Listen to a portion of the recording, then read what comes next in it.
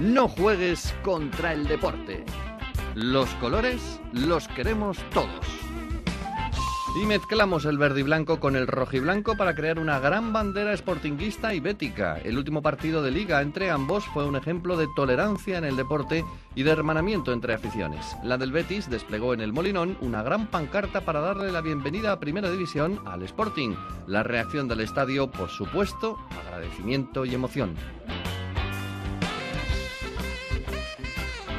1960. Cassius Clay se proclama campeón olímpico de boxeo. Al volver a su país y comprobar que el oro no le protegía contra el racismo, tiró al río Ohio la preciada medalla.